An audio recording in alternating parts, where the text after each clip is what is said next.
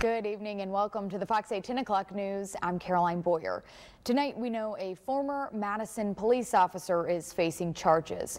A spokesperson with the State Bureau of Investigation tells us Clint Smith was served with a criminal summons on Thursday for two counts of dissemination of harmful materials to a minor.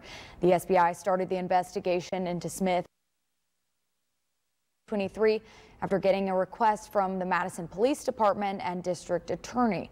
We're working to learn more about what type of harmful material was allegedly shared.